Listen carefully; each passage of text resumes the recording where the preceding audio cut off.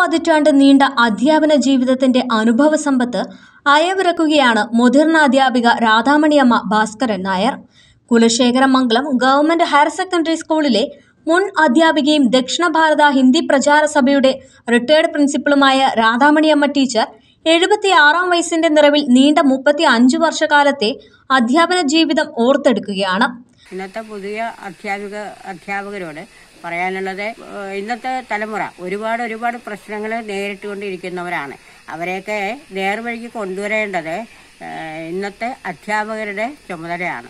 Vadayar infant Jesus high school Kulasekharamangalam government higher secondary school എന്നിവിടങ്ങളിൽ മുപ്പത് വർഷത്തോളം ഹിന്ദി അധ്യാപികയായിരുന്ന രാധാമണിയമ്മ ടീച്ചർ ഹിന്ദി കവിയത്രി കൂടിയാണ്.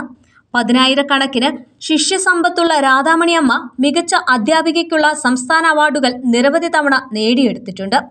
പ്രായാധിക്യം അലട്ടുന്നതിനാൽ ഇപ്പോൾ കവിതകളുടെ ലോകത്ത് സജീവമല്ല. കൊച്ചുമക്കളുടെ സ്നേഹപൂർവമുള്ള നിർബന്ധത്തിനു വഴങ്ങി ഭാവനയിൽ വിരിയുന്ന കവിതാശലകങ്ങൾ വാമൊഴിയായി പറയുക മാത്രമാണ് ഇപ്പോൾ.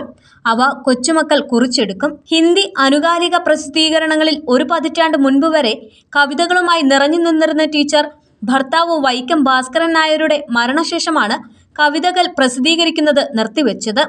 വരും തലമുറയെ നല്ല പൗരന്മാരായി വാർത്തെടുക്കുന്നതിൽ അധ്യാപിക സമൂഹത്തിന് വഹിക്കാനുള്ള പങ്ക് വലുതാണെന്ന് അധ്യാപക ദിനത്തിൽ ഈ മുതിർന്ന അധ്യാപിക ഓർമ്മിപ്പിക്കുന്നു.